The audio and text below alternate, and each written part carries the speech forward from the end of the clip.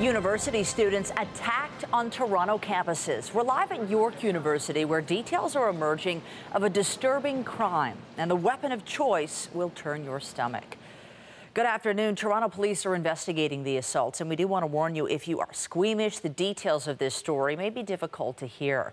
One incident was reported at a library at the University of Toronto, and the other at York, a York University library. Our Scott Lightfoot is working on this story this afternoon. He joins us live from York with the latest. Scott.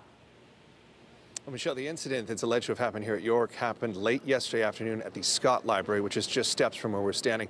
According to comments made online by people who were in the library at the time, it involved a man walking into the library and dumping a container or a bucket full of what appeared to be urine and feces all over students who were studying in the library at the time. This is very similar to another incident that was reported at the Robarts Library at U of T on Friday. Now, Toronto police say they are investigating both incidents at this time time. Here's what one of the witnesses to the incident at U of T had to say about what she saw.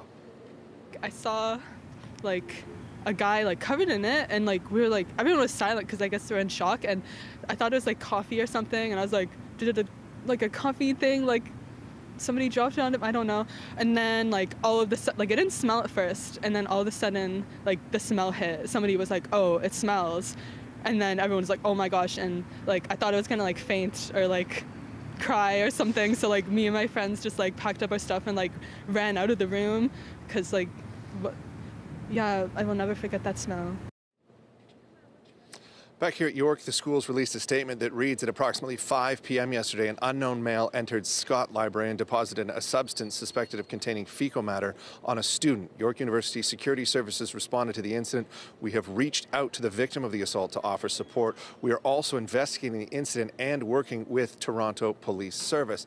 Now, there are some videos online that show the aftermath of the incident or purport to show the aftermath of the incident. So far, police have not released a description of the suspect.